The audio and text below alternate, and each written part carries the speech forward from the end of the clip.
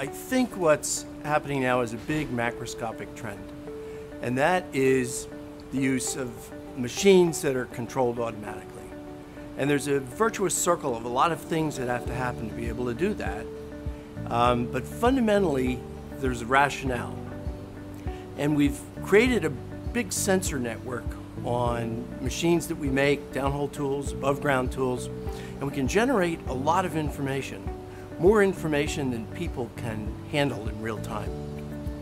So the issue is how to take the information we generate in real time, apply it against what you might call an algorithm, something that says, here's what we predict the behavior to be based on the information we have, and compare it to what we actually just measured with all these sensors that we've created.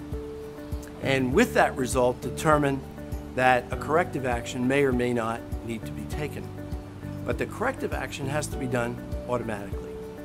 So it's, it's fast, we're processing more information than people can process in real time in their minds, and yet we're trying to take our actions in real time.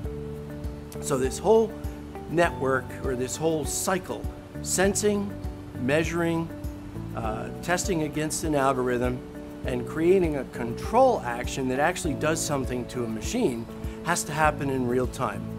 And as we start to infiltrate that into the whole industry, it will, by its very nature, take people out of the decision making process. And the purpose of that is not to take people out for cost. The purpose is to take people out so that we can make better decisions faster and create solutions that have higher productivity, better fidelity to predicted outcome, as opposed to occasionally people make mistakes or don't understand enough of the information that they have at their hands in real time to make the correct action. We're watching uh, two examples of how that has worked in other industries. Airplanes, for example, have long been flown by themselves. Too much information to process, pilots make mistakes. So if you've taken an airplane flight recently, most likely it wasn't taken off by the pilot, it was taken off by a computer. It wasn't flown by the pilot and it wasn't landed by the pilot.